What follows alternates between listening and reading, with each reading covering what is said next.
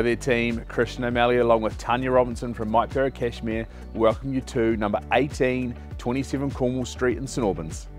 Tucked away in Cornwall Gardens, the property was rebuilt in 2015 and offers four bedrooms and two bathrooms. There's even an internal lift, making access between floors a breeze.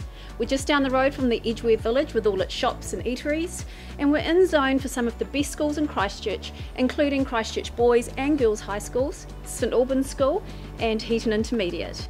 Now we really hope you enjoy the walkthrough video with this home and then is it time for you to call this one home? Once again I'm Christian O'Malley with Tanya Robinson from Mike Pero Cashmere and we look forward to meeting you.